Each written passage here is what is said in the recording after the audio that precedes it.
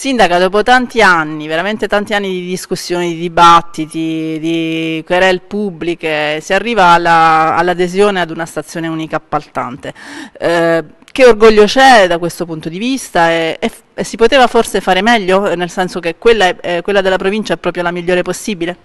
Allora, intanto oltre all'orgoglio c'è emozione perché è uno degli step fondamentali del nostro segnale proprio della nuova amministrazione, unitamente all'adesione alla carta di avviso pubblico, ai concorsi esternalizzati e oggi questo grande step deliberativo a cui si abbinerà anche uno step regolamentare di grande importanza che è quello che va a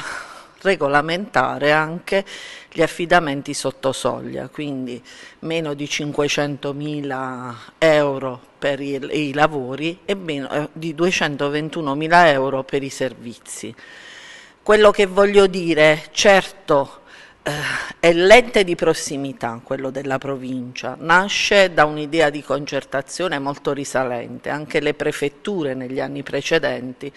hanno sempre eh, guardato in abbinata con l'ente provinciale questa possibilità, questa stazione unica appaltante che per importi limitati, lo ricordo, e che al momento eh, è attiva da luglio del 2023 e non fa rilevare ecco, dei contenziosi eh, di, di grande levatura. E oltretutto ha un corredo tecnico e tecnologico che è assolutamente moderno e d'avanguardia. Eh, certo non è un, un patto sine die, nel senso che noi saremo attenti, vigili sulla temporizzazione anche dei lavori, saremo anche vigili che le nostre pratiche di affidamento vadano a buon fine, sempre al miglior offerente, che il miglior offerente abbia tutti i canoni e i requisiti di legittimazione a contrarre e lo faremo con grande impegno, essendo anche a una portata proprio alla mano. Eh, non, in futuro potremo senz'altro in ogni momento chiudere il nostro rapporto pattizio per gli appalti con l'ente e aprirne un altro che può risultare di migliore eh, fattibilità, di migliore convenienza o perché no, non lo escludiamo affatto, una volta che la tecnostruttura sia allineata alla pianta organica spettante, ricordo che stanno oltre 400 scoperture al momento,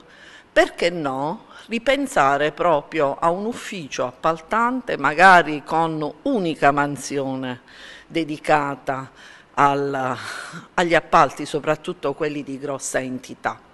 Per cui oggi è una conquista proprio di legalità, è una conquista di democrazia, è una conquista di trasparenza, è una conquista politica ed è una conferma della compattezza dell'Unione del campo largo progressista rispetto agli impegni assunti con il proprio elettorato. Con il nuovo codice degli appalti però del governo Meloni, insomma poi le infiltrazioni mafiose si vanno anche a incuneare nel subappalto perché sono, ce ne possono essere tantissimi. Come comune che cosa potreste fare per, per evitare che poi ve ne siano 21, 27 come, certo. come sono possibili? Senz'altro sarà una pista di lavoro assolutamente prioritaria, non solo attenzionata ma proprio percorsa perché eh, eh, tutte le fughe di legge, tutte, tutte ecco, eh, le furbizie anche negoziali che appartengono ecco, alle menti più elevate ma quelle che sono dedite alla,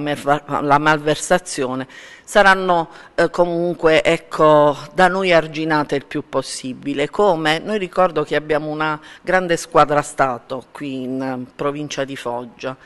è, voi lo sapete, l'infiltrazione sugli appalti, sui subappalti, sulle maestranze di, di qualche gestore, eh, comunque vanno chiarite e hanno anche dei, dei connotati talvolta opachi o torbidi che vanno chiariti. Sono sempre garantista perché il lavoro va premiato, va gratificato, il lavoro di impresa è un lavoro tante volte geniale che viene dal basso però non è affatto geniale, non affatto premiale quello che cerca nella scorciatoia e nell'inghippo da bypassare, l'inghippo legale, eh,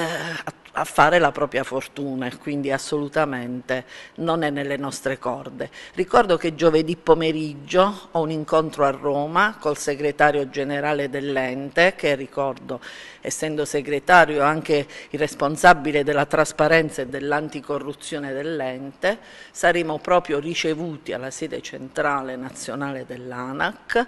per un accordo di programma sulla legalità e sull'anticorruzione. Quindi credo che siano capitoli di uno stesso libro che ha un sapore assolutamente dalle mani pulitissime. Grazie. Grazie.